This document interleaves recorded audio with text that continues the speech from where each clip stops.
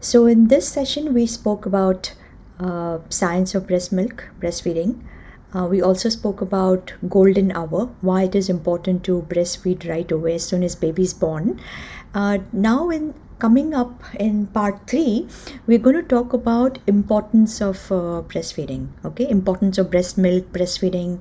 Uh, remember, the direct breastfeeding is very important because nowadays many mothers are buying pumps and you know using pumps to uh, give uh, milk to the baby uh, it will change the gut microbiome okay? I already spoke about importance of gut microbiome uh, so direct latching is extremely important.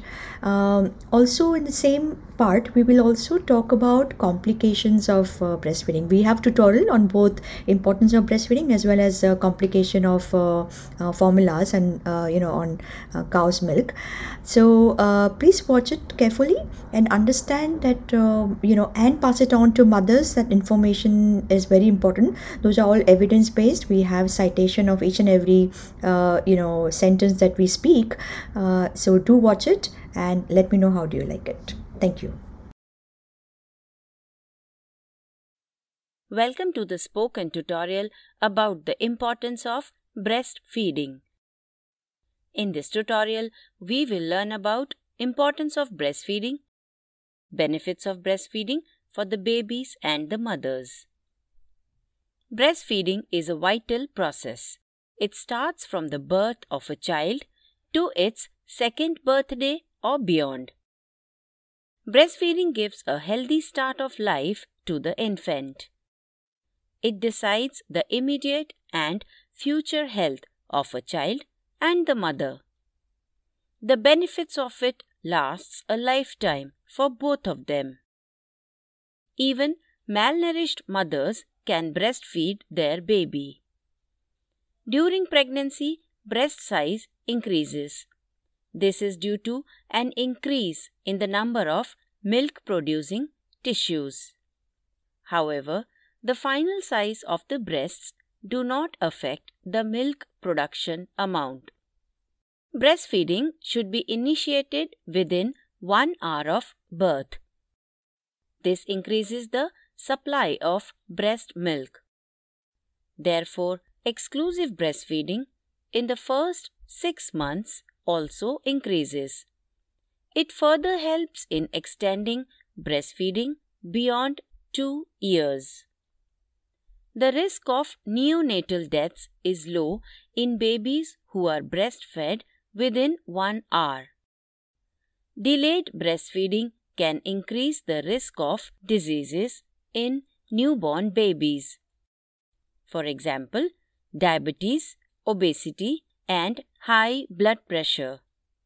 Early initiation of breastfeeding also ensures that the baby receives colostrum.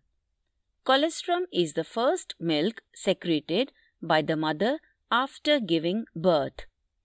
For babies, it is a primary source of energy and nutrients.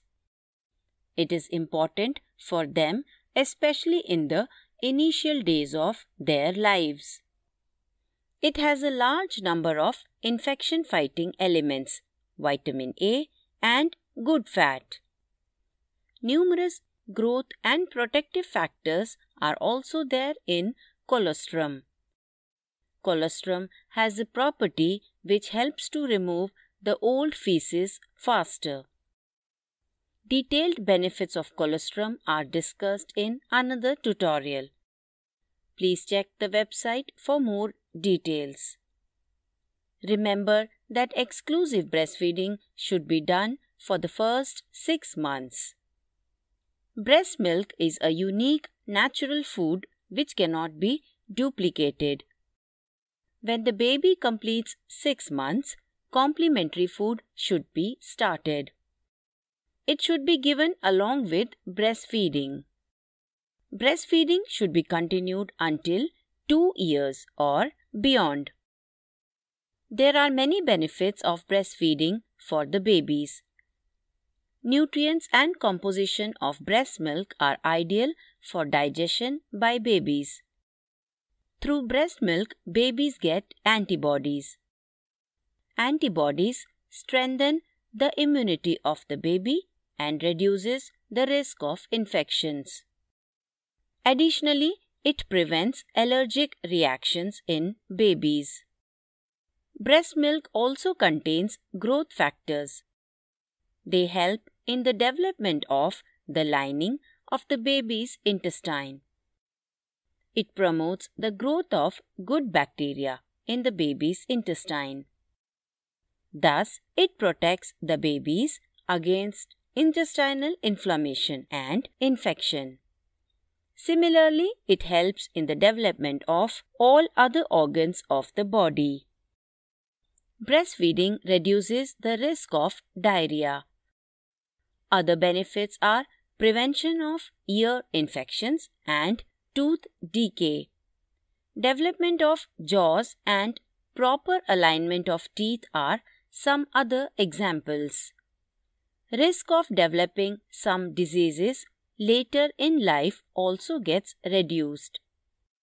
For example, diabetes, obesity, high blood pressure, and blood cancer. The risk of respiratory diseases like asthma and pneumonia also gets reduced. Breastfeeding reduces the chances of sudden death in babies below one year of age. The risk of developing atopic eczema is also less in breastfed babies. Eczema is a condition in which skin develops red, itchy, and rough patches.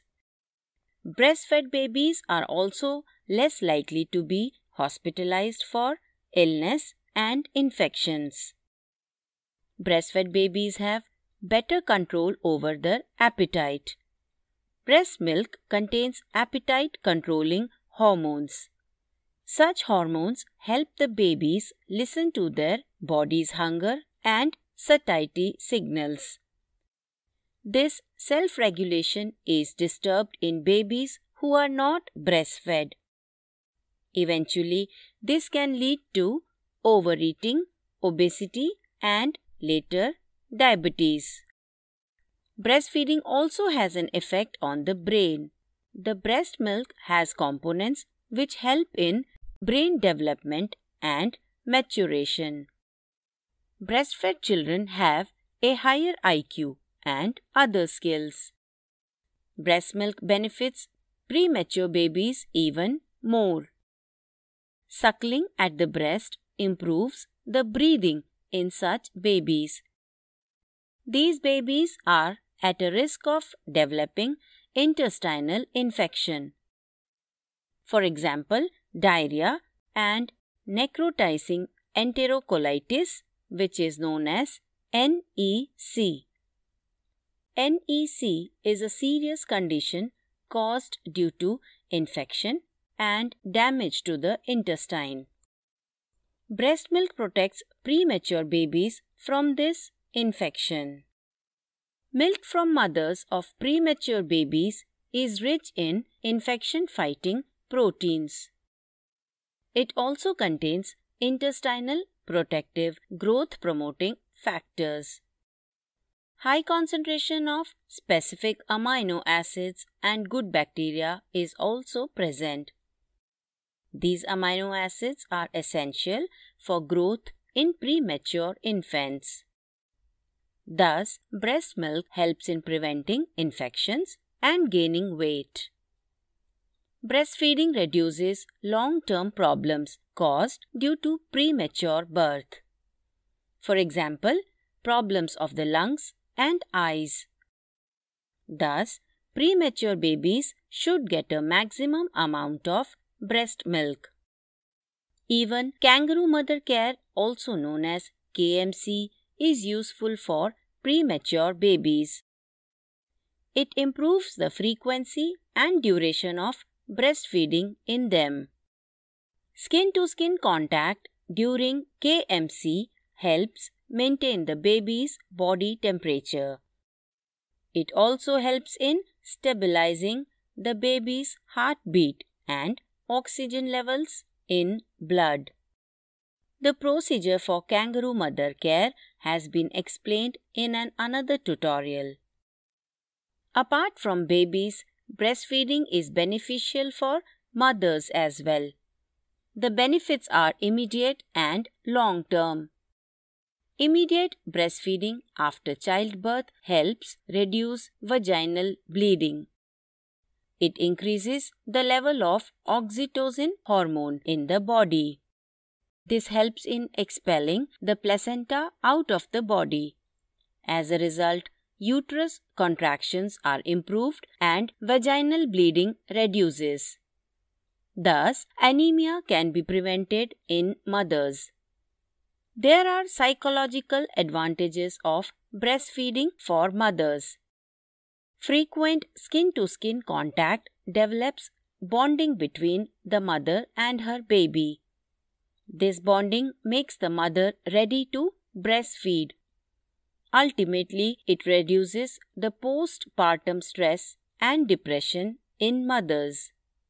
Breastfeeding also has long term benefits for mothers. It prevents weakening of the bones in the later age. The risk of breast cancer and ovarian cancer also gets reduced. During pregnancy, women gain fat around internal body organs such as stomach, intestine, and liver. This fat is hidden in the belly or abdominal region. Excess of this fat can result in insulin resistance, diabetes, and obesity. Breastfeeding helps reduce this fat in women.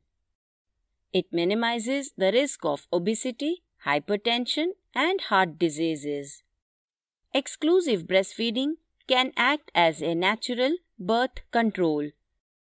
However, couples should use contraception after 6 weeks of delivery. This helps in keeping space between two pregnancies. There are some economical benefits of breastfeeding. Breast milk is available free of cost and is best for the baby. It does not involve money spent on formula milk, bottles, and plastic nipples. Extra time is also not spent in preparing breast milk. Hot water, utensils, and heating fuel is not required for preparing breast milk. Dirty water or dirty feeding bottles can make the baby sick. Thus, healthcare costs for the mother and baby is low in the future years. There are several environmental benefits of breastfeeding too. Firstly, breastfeeding does not involve any packaging or transportation. It does not produce any waste, smoke, or noise. It reduces pollution by saving global resources and energy. Therefore, breastfeeding is the best option. Mothers should ensure to breastfeed the baby from birth until 2 years of age. This is for the good health of the baby and the mother as well. Breastfeeding requires an understanding of the correct breastfeeding technique.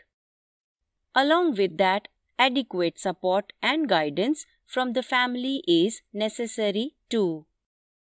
All of this has been explained in an another tutorial of the same series. This brings us to the end of the tutorial.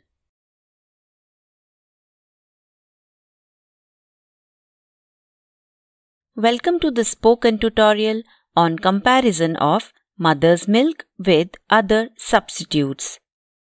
In this tutorial, we will learn about advantages of mother's milk, harmful effects of formula feed and animal milk. Breast milk is a liquid source of complete nutrition. It contains water, carbohydrates, fats, and proteins. various vitamins, minerals, hormones, and enzymes are also present in it. This milk provides growth factors and immune protective factors to the infant. Components of mother's milk are discussed in detail in another tutorial. Please visit our website for more details. Let us look at some interesting facts about mother's milk. A mother's milk is specially suited for her own infant. Its composition does not remain constant. It varies as per the changing needs of the growing infant. It changes from feed to feed, day to day, and month to month. The composition changes even during a single feed. Let us understand this with the help of an example. Mother's milk at the beginning of a feed has protein, sugar, and is watery. This helps to quench the infant's thirst. Towards the end of the feed, the milk becomes thick and creamier. It is rich in good fats which helps to keep the infant full and satisfied.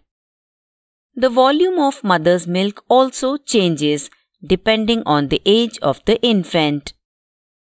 Many mothers choose some alternatives of their milk to feed the infant. For example, formula feed or animal milk. In this tutorial, we will be comparing them with mother's breast milk. First, let us understand what is formula feed. Formula feed is an industrially prepared food product for infants. It is usually in powder or liquid form. They are fed to the infants through bottles, cups, or spoons. Formula feeds consist of dehydrated animal milk, soya milk, and vegetable oils. Emulsifiers, artificial sugars, and preservatives are also added to it. All formula feeds are very expensive. Unlike mother's milk, its composition is not unique for each infant. It is a standard product with the same composition for all the infants. Formula feeds do not have antibodies, living cells, and good bacteria. Many of the enzymes get destroyed in processing of formula feeds. Hence, there is a poor absorption of nutrients from them. Formula fed infants have different gut composition than those who are breastfed. This may have a long term consequence on the infant's health. Formula feeding reduces the growth of good bacteria in the intestine. It promotes the growth of disease causing bacteria. It also increases the risk of intestinal complications in premature infants. This can lead to the damage and death of intestinal tissue in those infants. Such babies are critical because their intestinal tissue dies. Formula fed infants often have a stomach upset. They may face issues like abdominal gas, bloating, and diarrhea. Infants who are formula fed are more likely to get problems of obesity.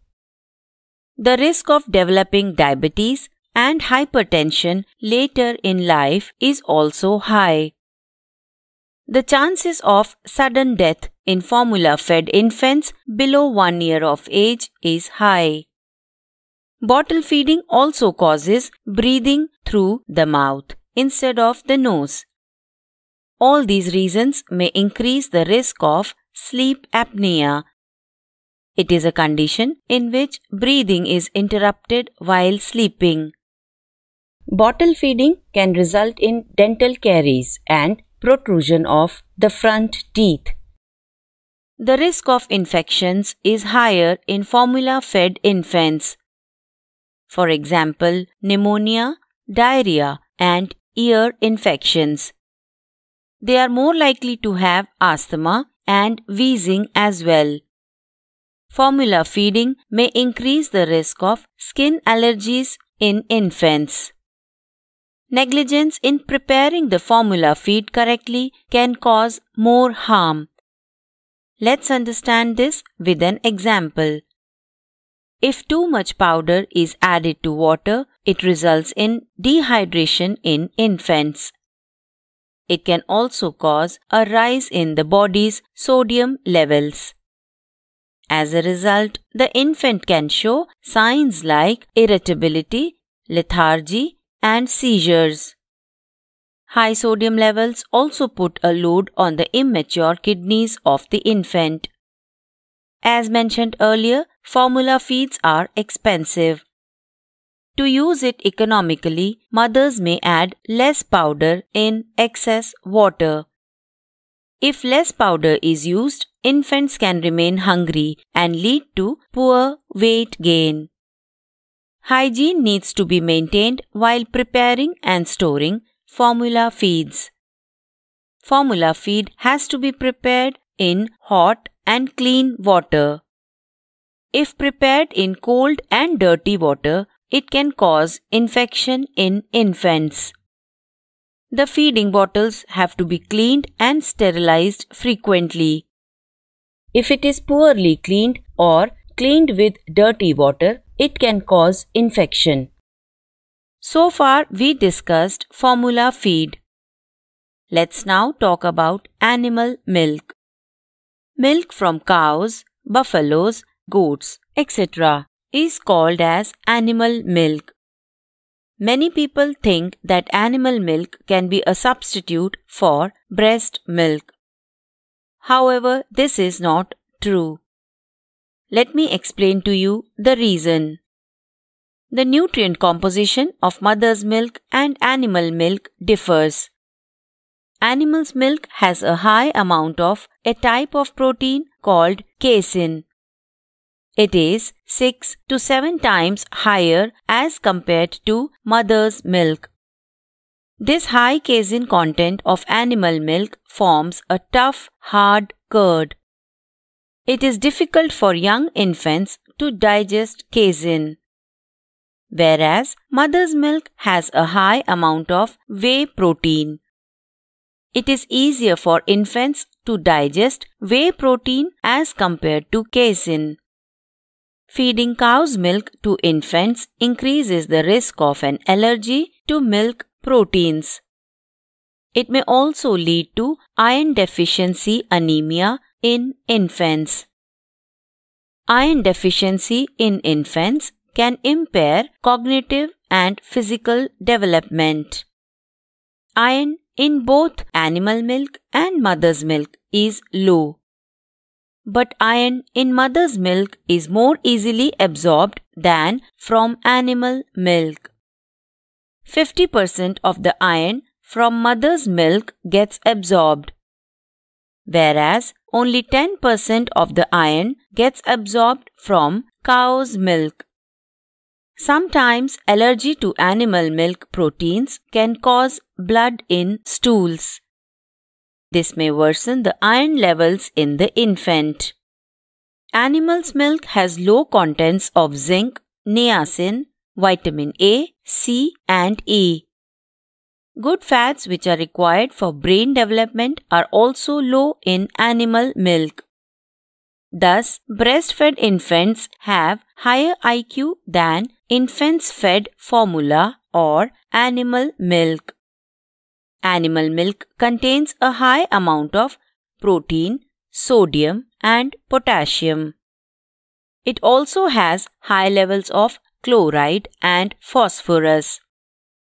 This may put a load on the immature kidneys of the infants.